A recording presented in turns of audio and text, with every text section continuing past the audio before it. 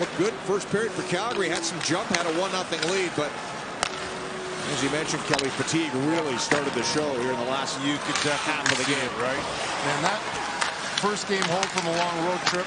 There's a goal by Kuzmenko. The shot by Tanev. Not done yet. 3.20 left. Andrei Kuzmenko gets his 11th and third as a flame. He's just going to turn his body position. And so he's on the backhand. There he was. Tapped the stick once for Chris Tanev. Find the target. Watch, he goes to the front. There's a stick tap. I'm here. Just put it right on the tape.